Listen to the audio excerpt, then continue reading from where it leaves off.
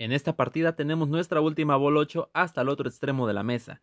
Con nuestra última bola objetivo, que es esta bola número 1, golpeamos demasiado fuerte, pero no logramos prepararnos. Así golpeamos esquinadamente, el golpe fuerte no nos va a ayudar en nada. Tenemos que aplicar un tipo de efecto para lograr prepararnos y armar ese último tiro. Con un efecto retroceso inclinado hacia la derecha o a la izquierda, vamos a lograr armarnos de la forma correcta y el tiro nos va a quedar muchísimo más fácil, como lo estamos viendo en esta situación.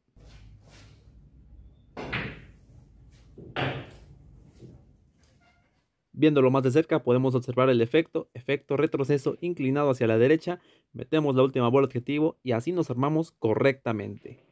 Aplicamos este efecto y como podemos observar el tiro nos queda mucho más cerca, más fácil para lograr meter este tiro. En dado caso que la bola 8 o la siguiente bola que vayamos a meter se encuentre al otro extremo de la mesa. Nos vemos en el billar.